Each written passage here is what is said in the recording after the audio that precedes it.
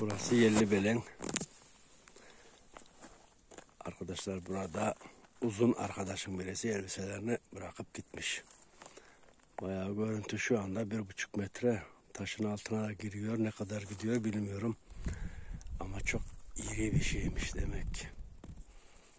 Buna bak. Allah harbiden de çok tehlikeli bir şeymiş. Beraber yaşıyoruz tabi.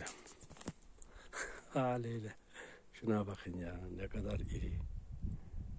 Taşın altına gidiyor. Öbür tarafta taşın içinde daha görünmüyor.